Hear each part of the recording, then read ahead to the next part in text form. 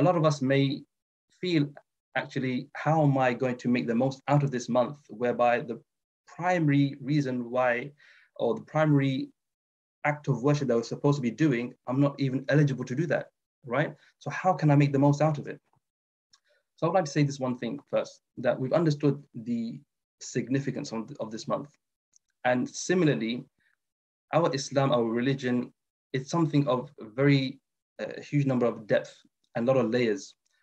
So when we understand Ramadan, we also understand other aspects of our life. And when we have an illness such as diabetes, what we un understand this to be is a test or an affliction, right? In, in the sense that anytime we are given some sort of uh, decrease or deterioration in our health or other aspects of our life, this is something that we need to tackle and face head on. And through our faith, especially in light of mental well-being, our faith gives us so much hope that we can hold on to to get through uh, difficult patches. And I'd just like to mention just one beautiful verse in the Quran, Surah Al-Baqarah, where Allah says, أعوذ بالله من الشيطان الرجيم بسم الله الرحمن الرحيم ولنبلونكم بشيء من الخوف والجوع ونقص من الأموال والأنفس والثمرات وبشر الصابرين الذين إذا أصابتهم مصيبة قالوا إنا لله وإنا إليه راجعون. أولئك عليهم صلوات من ربهم ورحمة وأولئك هم المهتدون Allah mentions a very beautiful verse here where he shows us that we are expected to go through difficulties. And he says, and certainly we will test you and trial you or subject you to some sort of affliction in regards to fear, in regards to hunger, in regards to your physical body and physical health, and in, in regards to your wealth in terms of the income. You might face different fluctuations throughout the course of your life. However, glad tidings be to the ones who are patient. As the one who are patient, they are those that as soon as a test comes upon them, they say, Indeed, we belong to Allah, and indeed we shall return to Him. They are those upon whom there is the blessings and mercy upon them, and they are those who will be rightly guided. So, what this does is it prepares us, it allows us to expect and anticipate that some sort of difficulties will arise. But not only that, these difficulties will be the platform for us to elevate ourselves and attain much great levels in the hereafter, inshallah ta'ala. So understanding this, that the diabetes that you have, this is an opportunity for you to also maximize in that sense. So although in Ramadan, you may not be able to, you know, act accordingly as to the demands of Ramadan, but still because you have this opportunity of greater reward, this is also applicable to yourself as well. So we should not be, we should not despair nor be despondent, right? But now having said this, what I would like to mention is there are some generic guidelines in regards to fasting itself and ill people. So number one, fasting in the month of Ramadan is an obligation upon every adult male and female. Okay, so that's that. Secondly, Beyond this, there are certain category, categories of people who will be exempt, such as those who are uh, in their menstruation, such as women who are uh, pregnant, such as women who are also nursing, breastfeeding. So there are exemptions allowed for particular people in certain categories. Now, as far as diabetes is concerned, this will fall under people who are under either a chronic illness or depending on the levels of diabetes, they will have um, a different degree of how to react. So number one, we will say is that we will enter into the month of Ramadan whilst intending to fast. Now, depending on how a person's levels of diabetes are, if it gets to a stage whereby through their fasting day, they're very affected by this and they experience headaches, they experience a deterioration in their health and there's a concern about that, then they should categorically break their fast. right? It is necessary upon them to preserve their health, preserve their energy as well, right? Because that is a dispensation that is found in the Quran and the literature of Hadith. Now, once you've broken your fast, right? You've attempted, and now unfortunately you're not able to pursue it to the end, and you've broken it. This fast will now be required to be made up at a later date. And on that note, one of the misconceptions is that as soon as a person is diagnosed with an illness of some sort and they realize they're not able to fast throughout, especially um, let's say in previous years, it was peak summer and the length of the duration of fasting was, you know, approximately 90 to 20 hours. Those kind of conditions would make fasting very, very difficult. However, this idea of making up, it also carries on beyond fasting, meaning that if I'm not able to fast in certain periods of the year where fasting may be difficult for me, then if I arrive into the winter months, I may be able to uh, make up those missed fasts in the later days, in the later months, uh, in the later part of the year. So that's that. So rather than foregoing fasting in totality, we need every person, as I mentioned already, you should individually assess your own situation and see how you are in terms of your reaction to fasting. And there are those who should categorically be uh, abstaining. Now, those who are at a stage where they've experienced from themselves that they're very unable to control the sugar levels and they require insulin, and as a result, they need to take some uh, intake of food to manage their levels, then for such people, if past experience does show you this, then firstly, as I mentioned, if you're not able to fast during the longer days, then see if you're able to arrive in the winter days and try to fast in those times. And then if that is again not applicable to yourself and you're still not able to fast throughout other parts of the year, then there is something called fidya. Now, fidya is a substitution from fasting, right? So having exhausted all your other possible means and ways of trying to attempt to fast and you're still not able to, then what we have at our disposal is something called fidya. Fidya is a type of charity that we give, right, in exchange for every day of our missed fasts. So typically, this would cost at around three to four pounds per fast. It's based on the um, charity that we give at the end of fasting to the poor and needy when we arrive into the days of Eid, right? So the same calculation is, you know, replaced onto the missed days of fasting.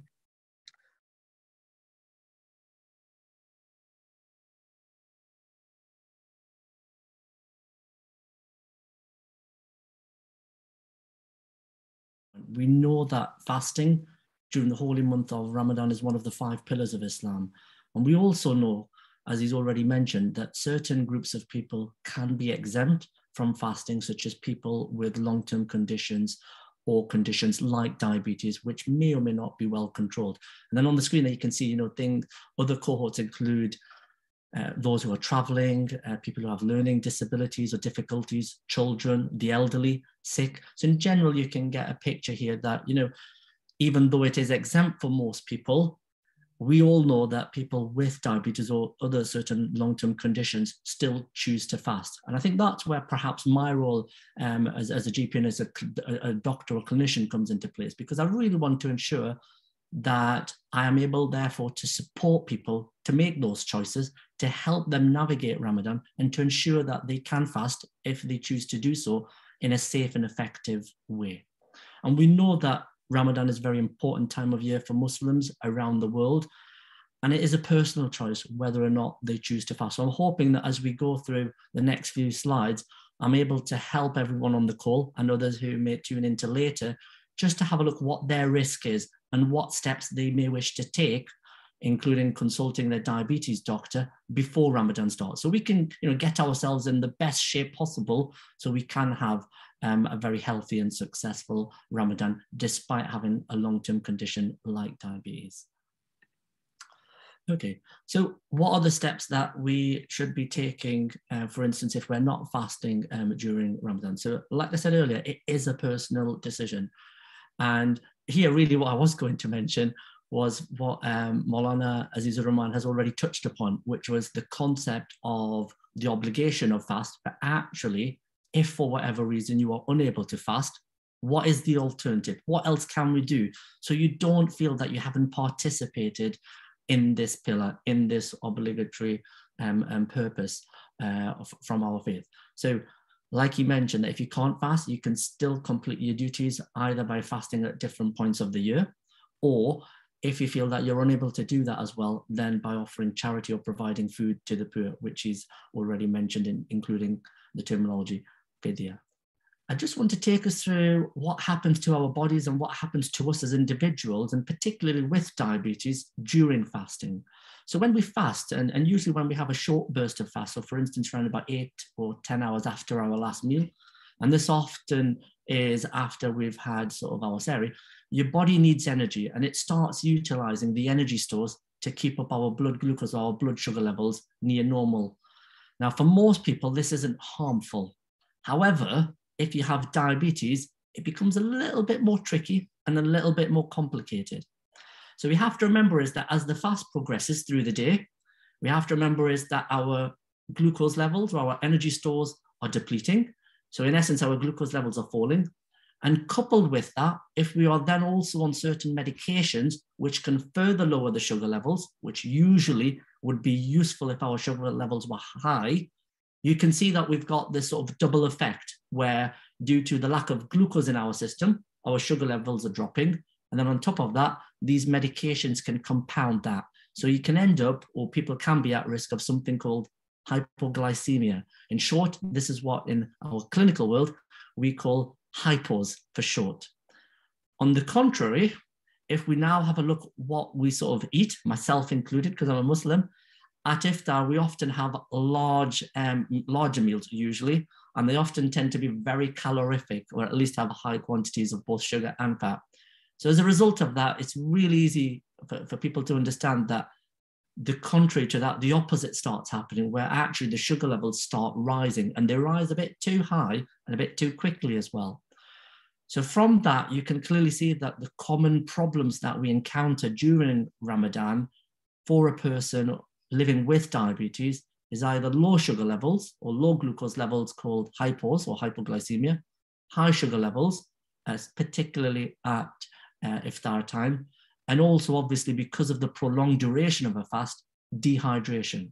And rarely, but sometimes it does occur, people can have a, a dangerous um, complication that we call, which is diabetic ketoacidosis. And this often rises if people have a very prolonged fast, so the duration's very, very long. And often if the sugar levels are very, very high, or they have complicated diabetes as such. So as a result of that, that's just something to bear in mind because the body starts reacting or using different energy sources for glucose and it starts making ketone bodies. So listening to all that, how can we keep ourselves safe when fasting?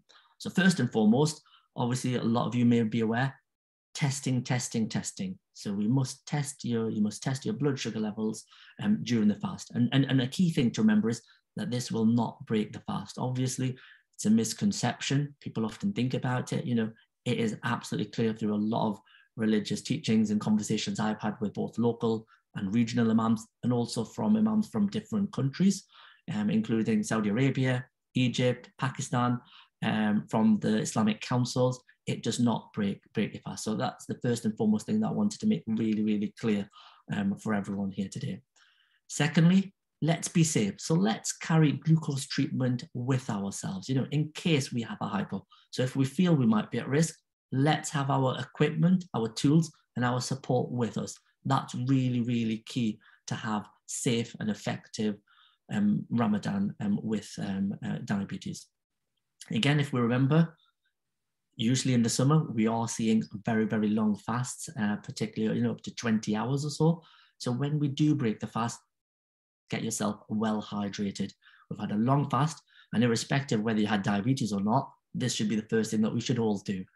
But for a person with diabetes, living with diabetes, I think it just takes more precedence and more of a priority. And then eating a meal just before sunrise.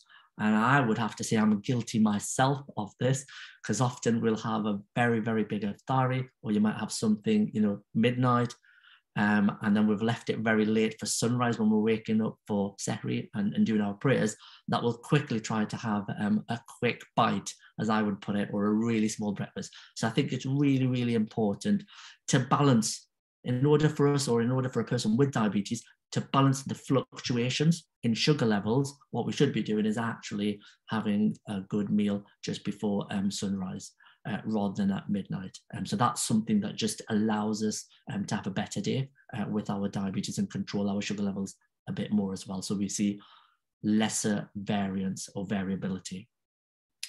This is often something I always say to patients um, in the, particularly in the high risk group, um, if they wish to fast, I often say, right, let's just do a trial, a bit like driving a car. Let's just do a practice test, a bit like a practice fast. So I often say a few months uh, before uh, Ramadan starts, you know, I'll give you the advice, the support. Let's just try a few days at a time and let's see how you do with that. And that often gives them either the reassurance that fasting is safe and we know what to do and they have experienced it, or equally, if they're in the very high uh, risk group, it often um, helps them uh, come to a shared decision uh, with myself as a clinician in terms of it's probably not the best idea. And if they have problems with it, it often just makes it much more easier for me to convince them uh, that obviously you're very high risk, so we possibly should not fast. So again, doing a practice fast test is a really practical and easy thing to do, and often um, can, can, can help us when we do um, have disagreements uh, with, with the doctors, as, both as a patient as well. Um, and, and this thing is really important, really, really crucial for those patients uh, with diabetes who are taking insulin or medications, uh, for instance, or if um, uh, vaccination, particularly around um, COVID. You know, again, it does not break uh, the fast. And then there are some uh, religious um, teachings um, and, and, words here as to why uh, why that is. So, firstly, it's not nutrition. and, and, and then we have got some quotes from the Quran, which often I mention is that on one hand, we we, we have uh, from both from the Prophet and from the Quran, we're saying that obviously saving your life is the most important thing, and then to save one life is a bit like saving the whole of humanity. So actually, insulin for people with certain types of diabetes is a necessity. It is important that they take it, and therefore, if they wish to fast, it's really, really important that they take their insulin. That we're doing testing, that we're being really, really um, safe during the holy month of Ramadan. Uh, and last but not least, is also extremely vital. So I often say, look, um, we've gone through all this. We've agreed we're going to support you through fasting. Uh, this is your care package, the management plan, uh, written down for a patient, all sorts of different advice in case they get stuck. But they have to be prepared as, as, as a patient, as a person with diabetes. You really have to be prepared to break your fast. And I know from a religious standpoint, that is extremely difficult and really heartbreaking sometimes for people when I've seen them after that. And, you know, um, um, we have a heart to heart with each other. They feel really guilty. They have lots of remorse, loads of different feelings going through it.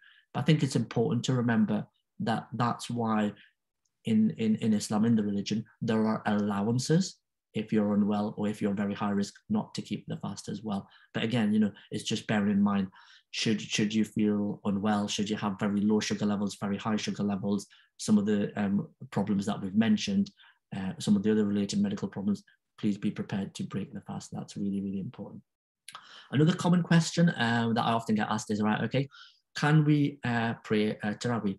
So again, uh, a lot of us will be aware that Tarawih can be quite a tiring activity. So I think um, it's a really good exercise. Um, uh, both obviously we're fulfilling our uh, religious prayers in a way, but also from an activity level uh, in this day and age, it's really, really good. But it's equally important to remember that it can make us dehydrated and therefore it poses that risk of hypos where the sugar levels are dipping. So to avoid problems during Tarawih, we have to remember is if we're getting a bit dehydrated, you might feel dizzy, your head spinning, things like that. There are a few different things that, that we can do. So obviously, if you are going uh, on Tarawih to the mosque or with uh, with a group um, of, of, of, people or family members, you know, take a bottle of water, take some glucose treatment with you, drink water following the iftar. So we're replenishing our water stores. And a key, key, key thing is around when we are having uh, that iftari, um, think about starchy foods, long acting, slow burning carbohydrate foods. So the purpose of them is that obviously the body and, and the stomach, we digest them very slowly. So they release the sugar levels and they're sort of just dribbling along and, and very nicely so that actually it should prevent um, some of those um, complications or problems that people may find when they are doing uh, Tarawih. So I think it's really important to remember uh, to eat sensibly and healthily all year round, but particularly during the month of Ramadan. And as I mentioned earlier, you know, eating too much fried food, which um, is uh, more of a cultural thing, I think, for us uh, in, in society. Um, and, and also it includes food that's high in fat and sugars. It, it's going to do a few things. It's going to raise our sugar levels. It will make it difficult for us to manage the diabetes. But more importantly, it's putting on calories and weight uh, as well. So it's given us a few different problems to think about. So I always say, you know, it's not about restriction, but it's about moderation. Um, so to try to eat moderate portion sizes, moderate items, and remember, you know, that that the month of Ramadan it is also about for us, you know, all of us, it's about self-control and discipline.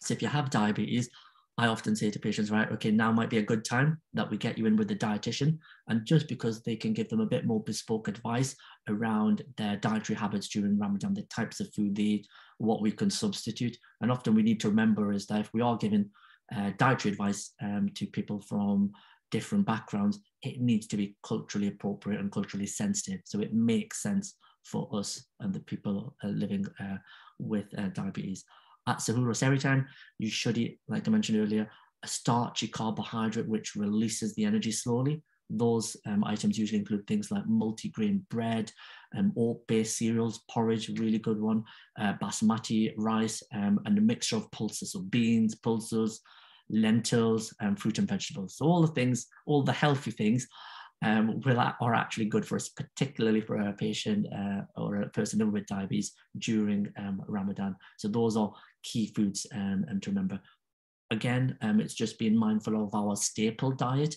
Um, other things that often can help are things like pita bread. If we are um, having chapatis, looking at the size of the chapati or the number um, often uh, would help in terms of the type of, the type of short versus long acting carbohydrate or starchy food that we're having.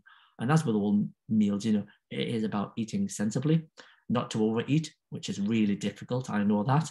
And uh, remember to drink fluid.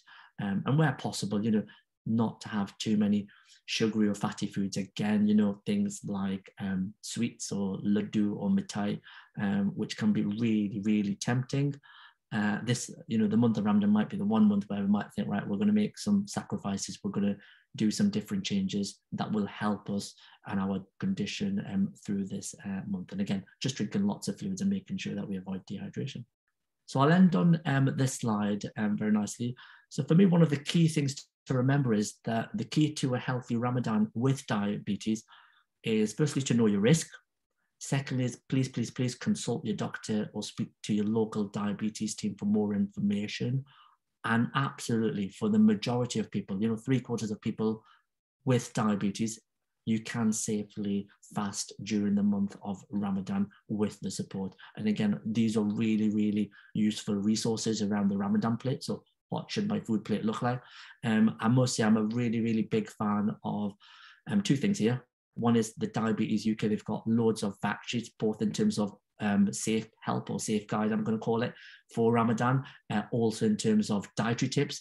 Uh, and the Dar Safa app, um, a few years ago when it was launched, um, I was at a European conference, really, really good app because culturally, um, it gives you lots of food plates and lots of recipes. So, for instance, if I'm belonging from a Pakistani community, it'll give me um, cuisine or diet or food choices that's in keeping with my culture. And equally, someone from the Middle East, Egypt, Syria, um, will have a may have a slightly different take on, on on their diet. So it's really, really both culturally sensitive, but also it gives you really good ideas around well, what can I cook in? And and it's good really as a family to to, to look at those things because and your family are going to support you as well as us as clinicians and obviously uh, diabetes UK, which will fight our battle, which will fight for diabetes all the way for us. So thank you very much.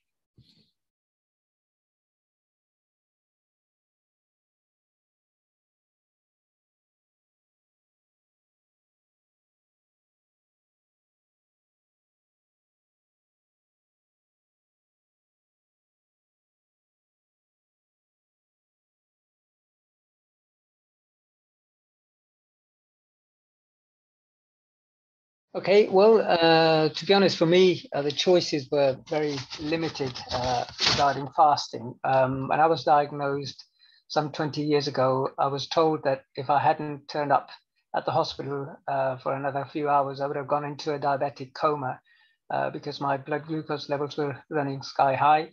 So they put me on insulin immediately on quite heavy doses of insulin.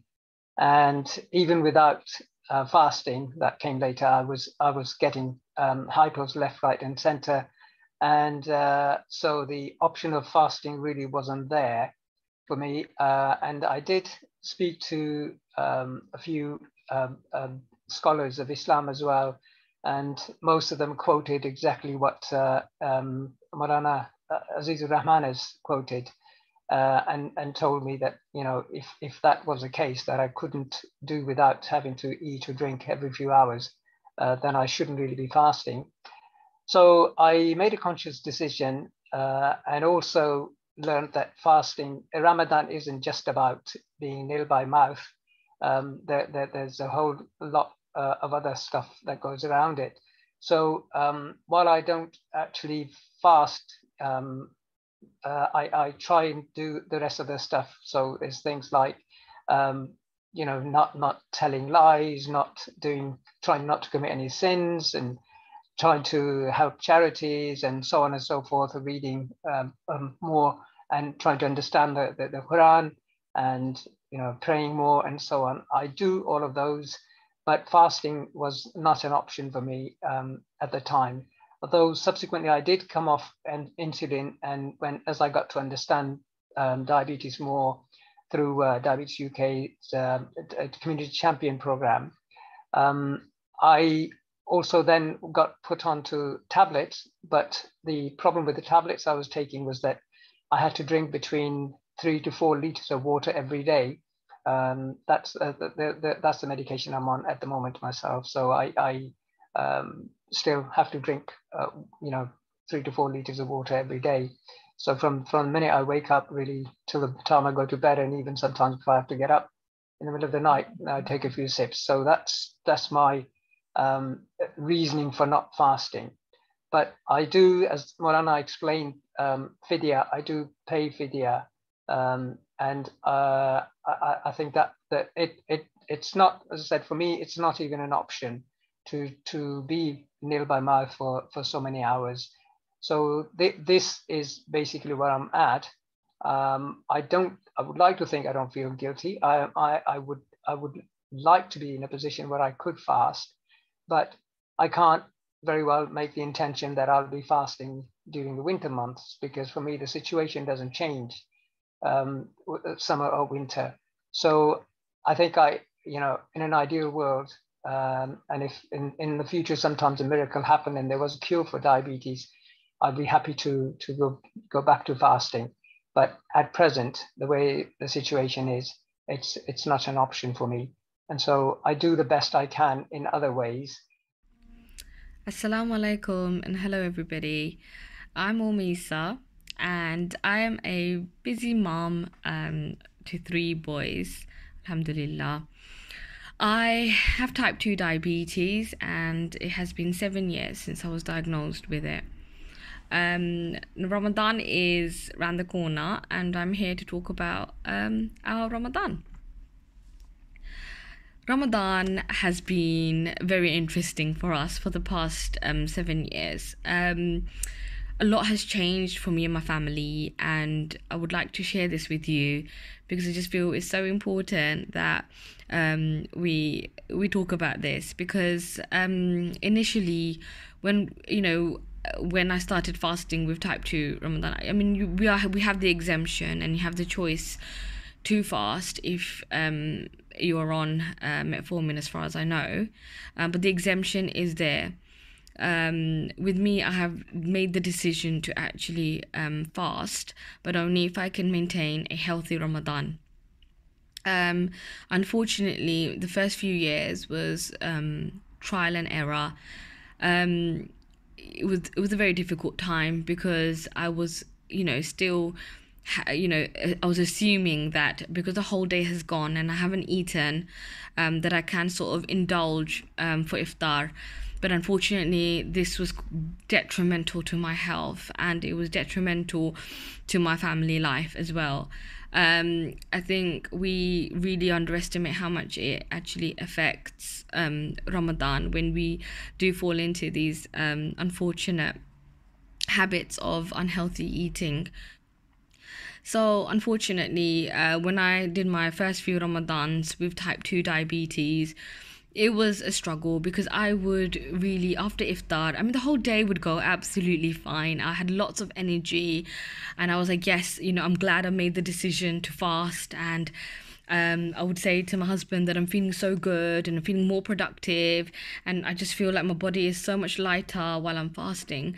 But unfortunately, um, the biggest test was that we you know, when it came to iftar, I'd be on the sofa, I'd be extremely lethargic. I wouldn't be able to get up to even wash up. I just would want to just go to sleep when I know that I need to uh, walk or I need to do some sort of exercise to bring my sugar down. Um, you know, that sticky feeling in my mouth, the heaviness of my head. I can't, I can barely keep my eyes open.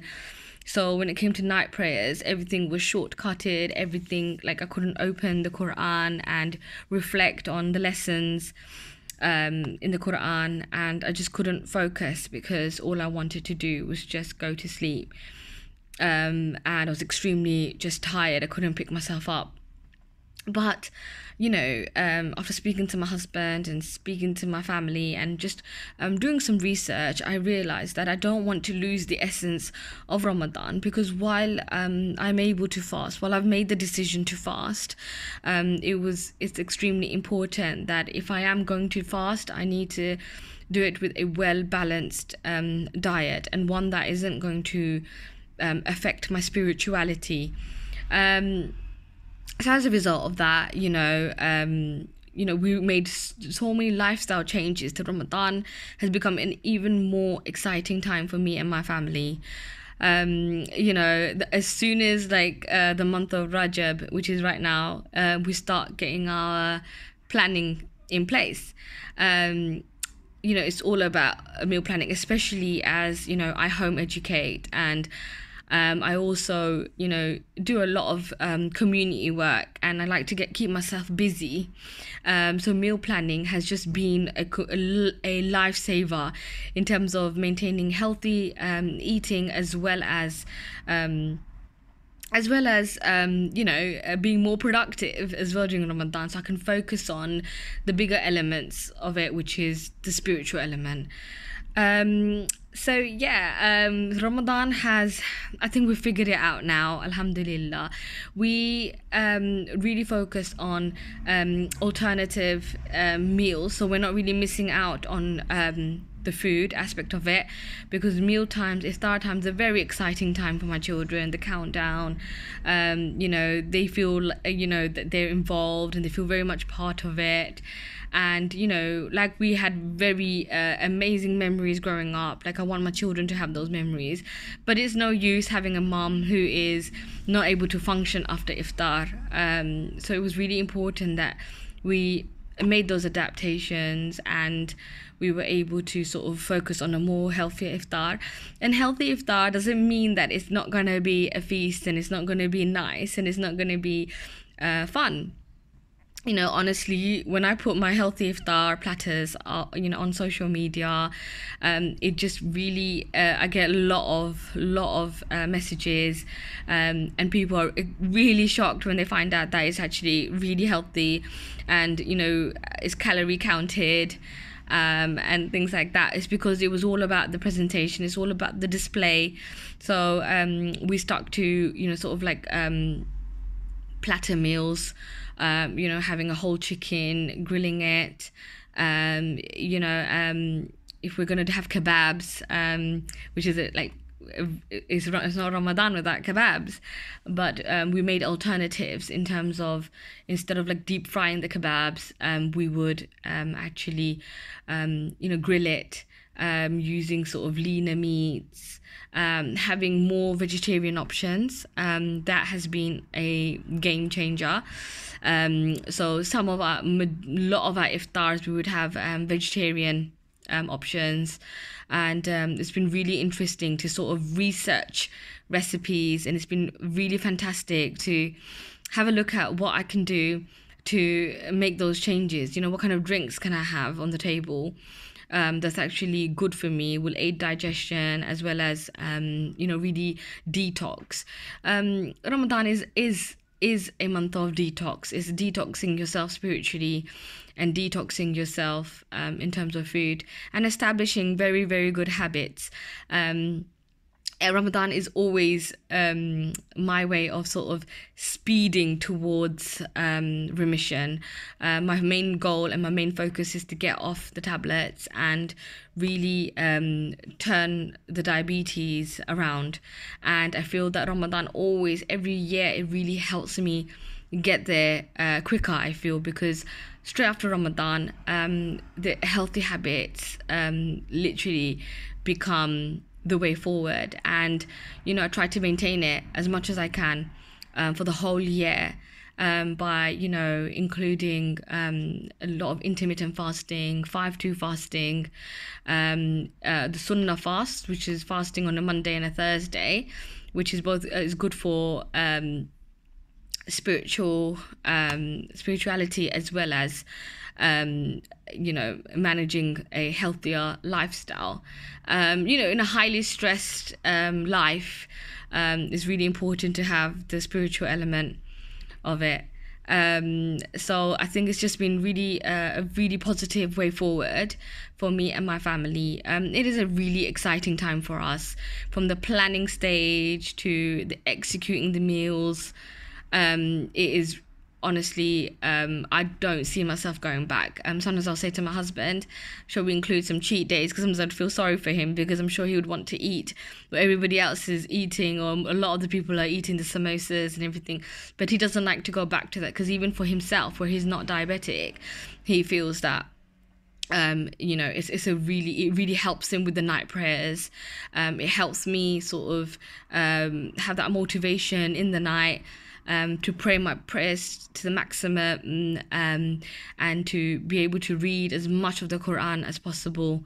Um, so you know, for me and and my family, the way forward has been healthier iftars. We have we have we have gone down the route of assuming that fasting for the whole day is actually going to be good and then eating whatever normal meal would be fine. But it hasn't been. And my advice to everybody is try and look at um, alternative ways to have your um, you know your normal iftars. Um you know there's there's a lot of research that we do. We do look into different recipes different ways of doing salads. Um you know one of my favorite things to do is make uh, um, different types of salad dressings. So salad is very exciting. Every iftar we have to have salad, um, and it's been really fun. Even even my children really enjoy it because I would, you know, make things like carrot salad or I would make. Um, chickpea salad um, instead of just sort of like frying the chickpeas with onions um, we tend to just have it as a salad and it feels it's so delicious and it feels really nice and light on the stomach as well as filling and um, slow releasing. So these are the sort of um, this is my experience of ramadan